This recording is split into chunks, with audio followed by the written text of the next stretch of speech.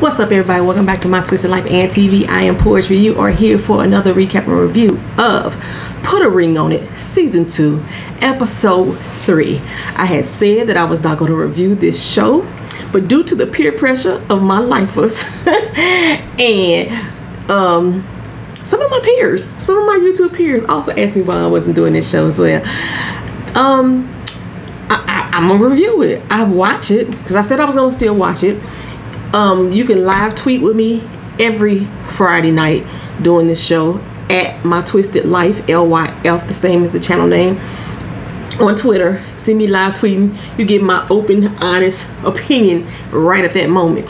Um, tonight i will be live tweeting doing the premiere episode of real housewives of potomac. So join me on twitter for that and then you know you get the recap sometime this week probably by tuesday i think. I usually put it up on tuesday. So anyway we're gonna start this off. I did not recap the first two episodes, and this is really not going to be a recap either. It's going to kind of be a summary of the characters or the cast members and some initial thoughts and my initial prediction. And then um, next week we'll be right on target. Uh, we're to start off this year with three couples um, Alexa and Dorian, LaRonda and Sean, and Jessica and Eric. We bring back Dr. Nicole. She's still looking gorgeous as always. She still got that slick back ponytail with the big old, you know, whole pack of her in the ponytail. She's still wearing that this this season. Even though in the promo still she had her down. Um, and the one twist that we have this year is that there are no boundaries. Now, last year, everybody was putting boundaries on their dates. You can't do this. You can't go here. You can't hold hands. You can't do none of that. So she starts off this season telling everybody to say what their boundaries are. Of course, everybody had the same thing. No kissing, no hugging, no bumping uglies. That's what they wanted to do. And then Dr. Nicole told them, okay, well, we got that out the way. Throw all that out the window there is going to be no boundaries. Because how can your partner or you fully take on this experience with boundaries in place. At this stage, y'all should know y'all mate.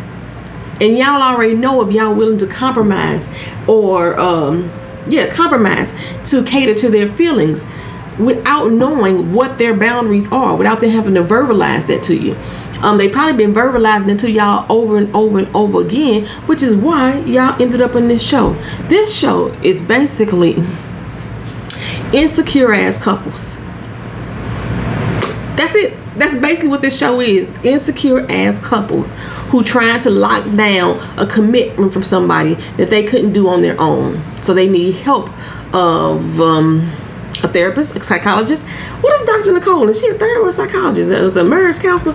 Let me look that up. I have to figure some stuff out. Dr. Nicole Leach. She got doctor in her name. Nicole Leach. What are you?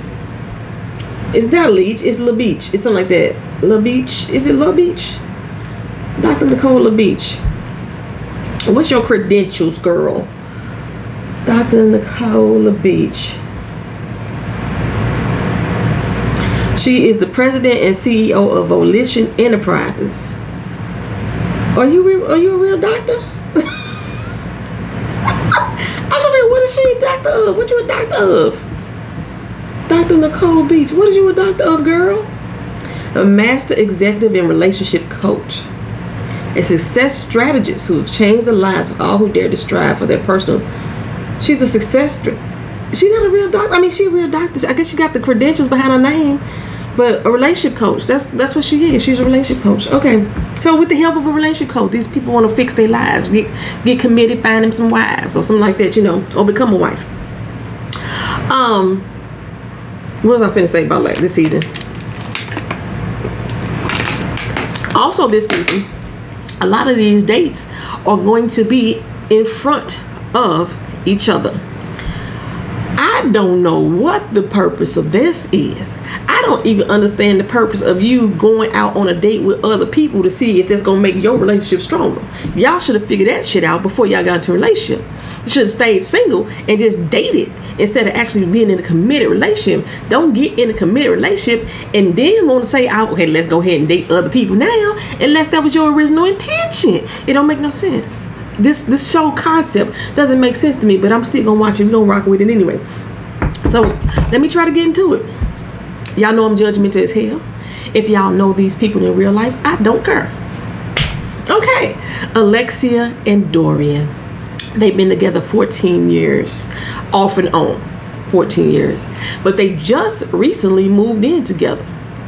Um, way out in the sticks, you know, Atlanta got some sticks, and they out in the sticks. They house like a, like a, like a wood cabin. Okay, there's no doubt in my mind that moving out in the sticks was Alexa's idea. Is Alexia or Alexia? Alexia. Lex. I'm gonna call her Lex. There's no doubt in my mind that was her idea to move out there. She trying to keep Dorian away from other hoes. He's a member of a group called Field Mob. Field Mob? Who is that? I don't fucking know. I don't know. I ain't never heard of them before in my life. I asked my Twitter peeps and they hit me to a couple songs. One that was done with Ciara, one that was done with Ludacris, and then some other one that's supposed to be a really, really, really popular song. I ain't ever heard of them.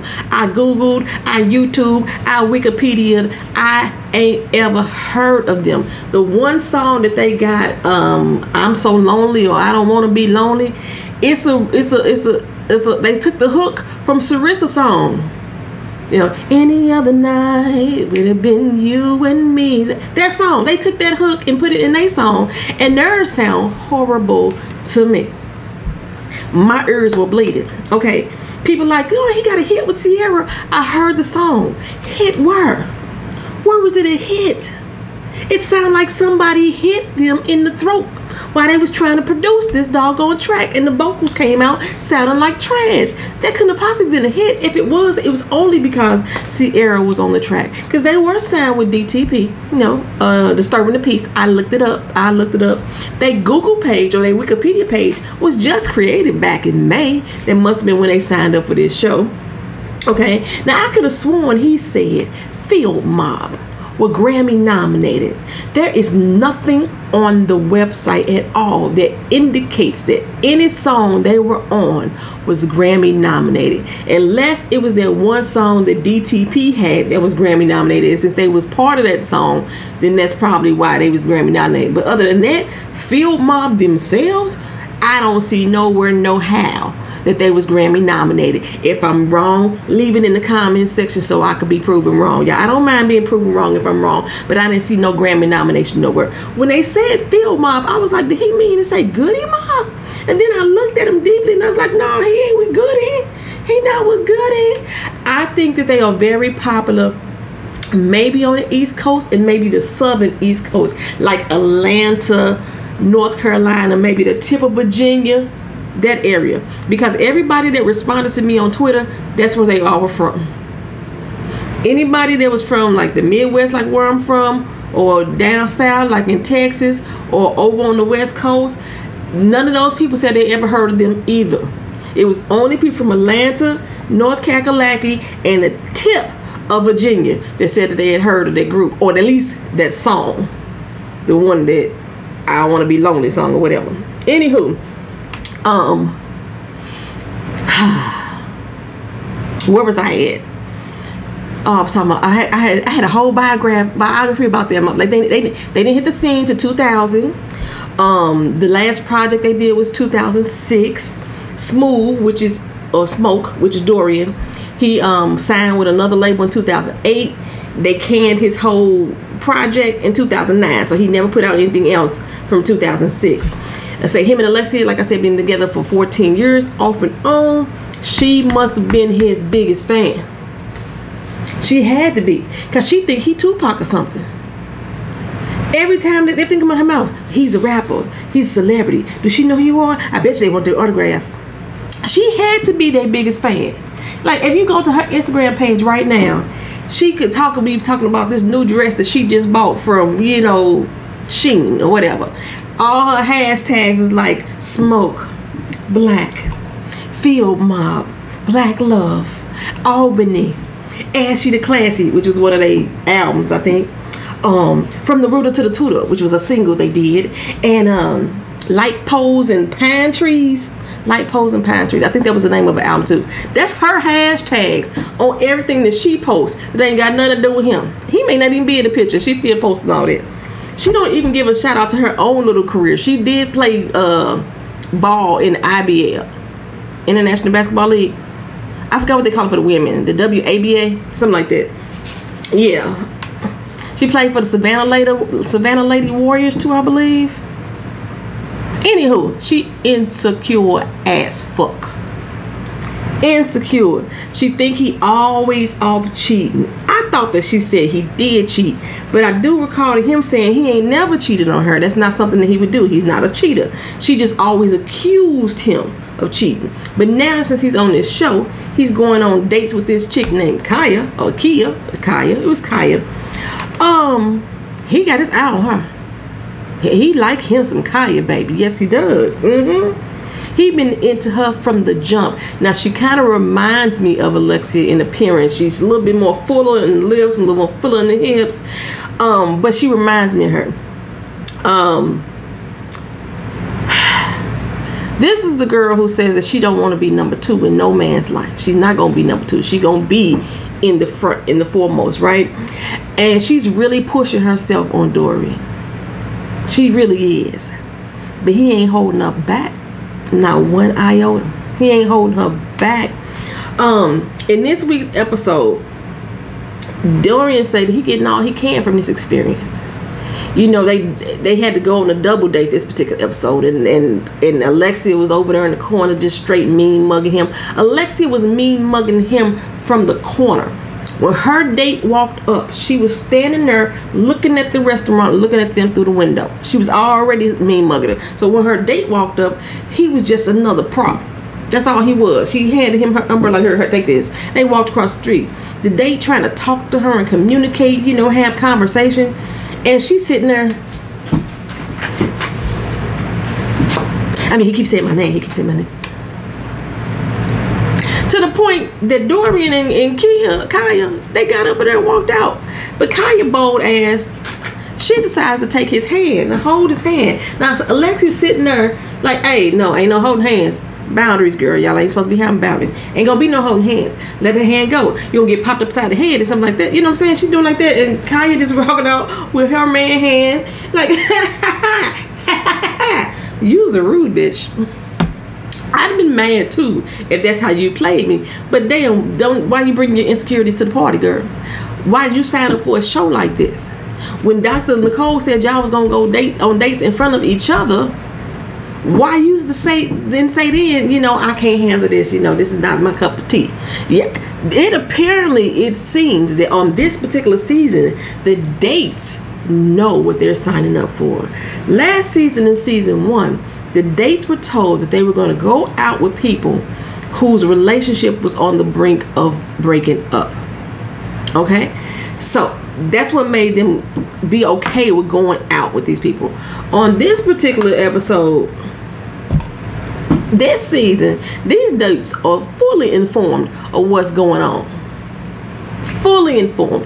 And it seems like everybody, or at least Kaya, and maybe like one or two other people, their whole agenda was to make them forget about their real boo and choose them. It's like a competition for them. That's what it is. Okay, so anywho, um, I don't know what Alexia's goal was when she decided to come onto this show. I gotta get, I, I, mm, I got my notes over here, y'all. Y'all know that. I don't know what her goal was to come on this show. Um, it seems like they want to make their mates jealous or maybe alexia thought that she could make dorian jealous if he saw her out with another man but it flipped on her because her jealousy and her insecurities are on 10 honey. They on 10 fuck that they on 20 twin twin. They all the way off the kilter. She is so insecure and she's a beautiful girl. You know what i'm saying? Um she threatened to whoop his ass every time he say a word that's beginning with the letter k Okay, it don't even have to be Kai's name.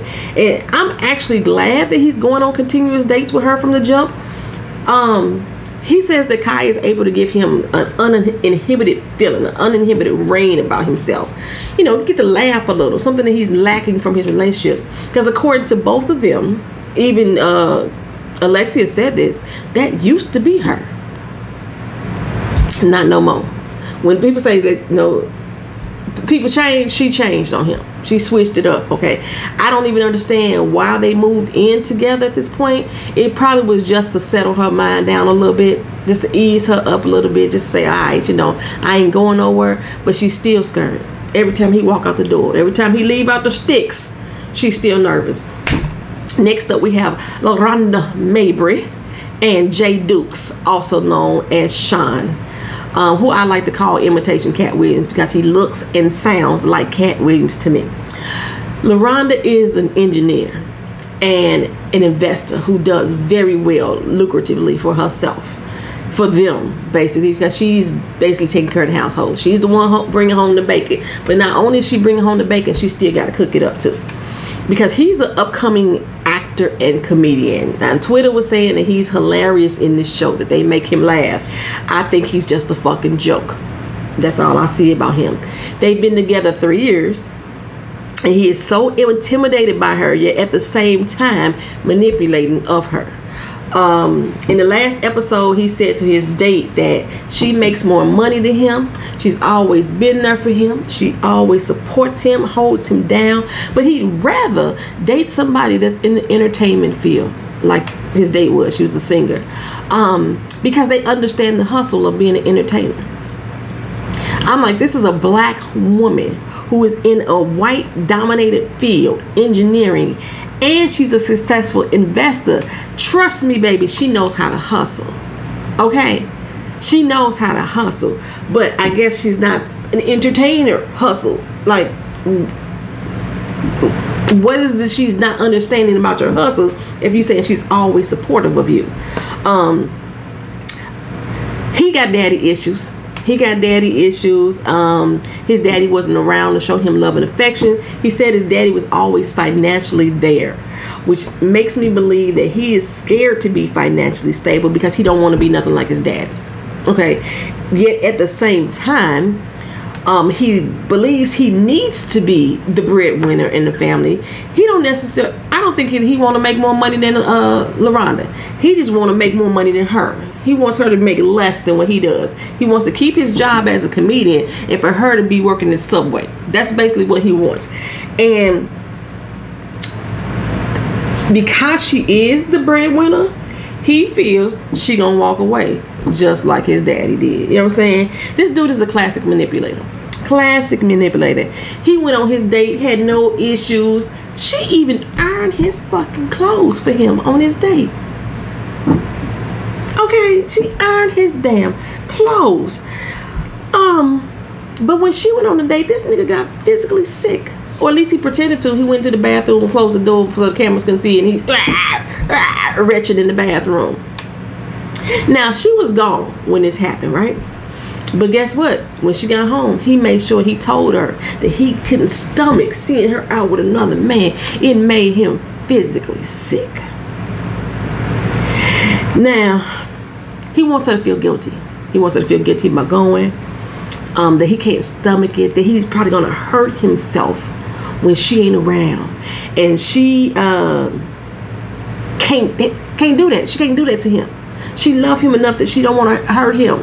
She's scared of hurting him because he may hurt himself. It's all in their body language. She looks at him before she answers any question. How was your day today? And he said, Don't look at me. You know what I'm saying? What time is it? Don't look at me. You know what I'm saying? That's exactly. She looks at him every time they ask her a question, like she's looking for his approval. You know what I'm saying? She is terrified to be herself around this dude. Um, she plays the doting wife. Uh, I'll buy your cl- I'll buy your clothes. I'll pay your rent. I'll cook your dinner too. As soon as I get home from work, you know, so he won't feel emasculated. So he won't feel like the small man that he is in stature. You know what I'm saying? Um, you know, Q dogs. You know what I'm saying? They have this this this this image about themselves. You know what I'm saying? They like the thug out frat boys. They they they the hoes. You know what I'm saying? Q dogs may not even graduate. They the party animals and stuff. The atomic dog. That's a Q dog. He's supposed to be cute. This dude breaks all the stereotypes of what a typical Q would look like. And I think he had a double brand on his arm, but you need two brands on. And his brands are huge. What is going on? Anyway, Mighty Mouse, check it. I think he's an abuser. I think he's an abuser. It may not be physical, it may just be emotional and mental, but I think he's an abuser nonetheless. Okay. When he met his date, his date was a little bit taller than him because he had on heels. She had on heels. And he made the statement that he loves a woman to tower over him because that way he could feel like a boss. How does a woman towering over Yola short Napoleon Dynamite ass make you feel like a boss? Unless at some point you are trying to dominate her, control her to give you that boss bitch attitude. Abuser. I'm saying. I'm just saying classic manipulator. This motherfucker dropped so many tears that when I'm watching the episode, I think it's raining. I swear, I break out my goddamn umbrella. I break it out. I'm saying, some of y'all may say, no, he's just a man that's being vulnerable, and we don't allow our black men to be vulnerable. No, this nigga being manipulative. That's what he is. That's what he doing. What did Dr. Nicole tell him? You are trying to have tactical control over her. Tactical means that you are strategizing your control. I wish he would have dug it a little deep on his throwing up. Mm. Then there's Jessica and Eric. I don't know what their last names are. Jessica and Eric. Je- Eric won't let that damn hairline go. Just let it go, dog. Let it go. Let it go. I forgot how the Frozen song go, but it's let it go. He need to let that shit go. Jessica is his trophy girlfriend. That's what she is, you know what I'm saying? He has an image to uphold. He's former NFL. You know, they've been dating for years. They always get the trophy girlfriend. Um, and she comes loaded with a bag of insecurities. Um, I think that there may have been a point in their relationship, they didn't say this, that she had a serious pop off game. And usually with dudes with that football image, that celebrity status, um, like a pop off queen. It makes them feel love. It makes them feel wanted. He finds it cute. He finds it hilarious. So she fighting over me because she has a mouth. I already know Jessica has a mouth. Okay. Um, but I think as he's getting older, he kind of sound like T.I. when he talk. I think as he's getting older, he's realizing now that they have a surface level relationship, and he wants something with a little bit more depth. Although Jessica thinks that he wants to remain a hoe the rest of his life. So why are you with him, ma? She's trying to force this commitment on him. Okay. Um, he sat up all night with his date. You know what I'm saying? Came in a little bit tipsy because they was drinking their ass off. He didn't even pay attention to Jessica in the room. He saw her come in, but Megan looking like I forgot her name. She held his attention. She looked like Meg Thee Stallion to me. She held his attention. Now he didn't find himself physically attracted to her, to, attracted to her. However, she had his fucking attention. If they had had one or two more conversations, oh, she'd got him. Because conversation to make a motherfucker fall in love. Conversation to make you forget somebody ugly. You have the right conversation. That's how I used to get my little phone boyfriends all the time. I used to accidentally dial the wrong number or they accidentally wrong, dial the wrong number. And then we sit on the phone just talking all the time. I ain't never seen them. Never. And I'm all giddy and Every time I see his number called now, I know it's him. Conversation will get your ass. And then when you meet him in person, you're like, oh, God, he, but you like him now. You know what I'm saying? If he'd kept talking to Meg Thee Stallion looking like he'd have been there with her, but he decided he wasn't gonna go out with her no more because you know he wasn't physically attracted. He not only wants death, he also wants to still be attracted to her as well. She's not the trophy wife. You know what I'm saying? She looks doesn't she doesn't I ain't gonna say she looks homely, but she looks like the girl next door. And he needs somebody who looks like she fits that celebrity mold. You know what I'm saying? Um, I think one of his biggest issues with this Megan looking like too was she was confident in self. Jessica's insecurity is actually attractive to Eric to me. Um, and one reason why I think that the Megan look like was confident in herself was because the way baby girl was fucking up that food. Child, she was fucking up that food. Every bite she took, like he was thinking, like, damn, she gonna eat all that? She ain't gonna cut it up and make it little morsels. She was like, no, baby, I'm gonna eat this steak right in front of your face. This is good. He had this like little bowl of soup that he was barely touching. And she probably said at the end of the night, you're gonna eat that? Let me get, let me get that from you. I'm saying, that's how she was. She was confident in her damn self. I'm saying.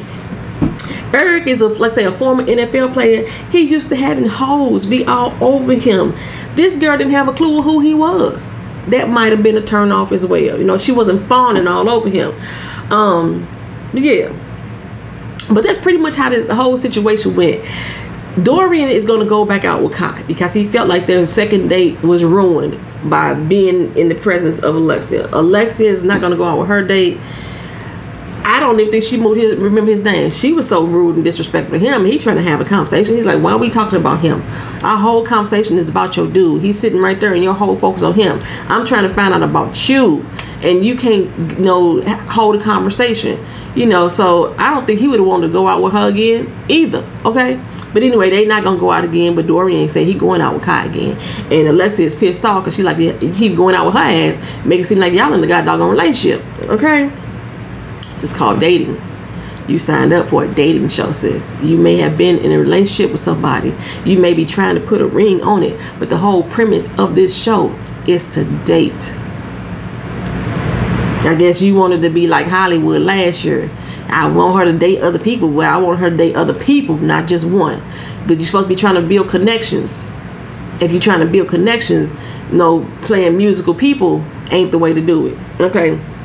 Um, I, I do think that Dorian and Alexia is going to make it to the end with one another. They've been together for 14 years off and on. Why break the cycle? She got him to move in after 14 years. She probably wait 14 more for that ring. Um, LaRonda and Sean, or Jay Dukes is his name. Um, I think they're gonna stay together as well because she is afraid to leave him, and he's gonna make her feel guilty about leaving it with his manipulation. Okay, you know. Um, because if she decided to walk away, he's the first thing gonna say, "I knew you couldn't handle a man like me. I knew you couldn't handle, uh, be, be, supportive. You didn't understand my struggle." That's what he would say. You know, she gonna stick around. Jessica and Eric, I don't think gonna make. Oh, let me go back. Um, who? Um, LaRonda and Sean, they not going out with their dates again. Um, Jessica and Eric, I don't think that they're gonna make it. I just don't. Um, also, the Megan looking like I think he didn't want to hurt Jessica feelings because when he came home that night, baby, he was telling her I ain't never had a conversation like that for my life. She enlightened me. I enjoyed it. And Jessica's like, what you mean, your life? And he kept pressing it in. He's like, in my life. I ain't never just sat there and just really was interested in somebody and they was interested in what I was saying.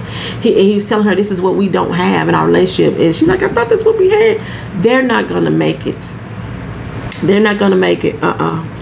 Mm-mm. Um, he decided not to go out with Megan looking like a again, which I think he really wanted to.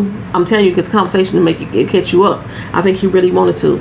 And then on the flip side, Jessica's like, I'm gonna go out with my date again. I don't think you really like that dude. I think that you just wanted to be the one you wanted to win. Eric said he wasn't gonna go, and you're like, well, I'm gonna go. You don't want to go out with that dude. You playing the game, Jessica. You playing the game, and you wasn't listening to your man. You wasn't hearing him you know, he telling you stop being so fucking shallow, and here you going, still being shallow and insecure. You gonna lose him. I don't know if he worth losing or not, but you're gonna lose him. Mm-hmm. Oh, let me update y'all on last season if y'all didn't know. Hollywood and Ashley, they not together no more. They broke up shortly after the show. Most most people already know that. Um, Tamika and Vince, they still together. They had an engagement, a wedding plan for September. I think the wedding is still on. Um, Mike and Shay, they were supposed to get married this July. They called off the wedding because they bought a house. They did this whole little thing on Instagram like they was pretending they had got separated. No, they bought a damn house together. Um, but technically, they still engaged. She just wanted the ring and he any goddamn away. She got a ring, and Whitney is still part of the throuple. And he claimed that Shay got a better relationship with the son. If so, they had to do with his mama. I don't understand how you can stay with a bitch like a girl like that. I just really don't. But I guess you shallow too. Shit. Anywho, that's it, y'all. Put a ring on it. Thank y'all for watching. Thank y'all for being here. Check me out on Friday. We live tweet doing the show again. And then you'll get this recap again on Sunday of next week. Um, again, if y'all on Twitter tonight, I'll be live tweeting for Real Housewives of Potomac. Um, at my twisted life lyf the same as the channel name. Like the channel. Subscribe to the channel if you're not already done so. Bring a friend over and tell them to come on in and watch. And um leave comments down in the comment section. I love talking to you. Peace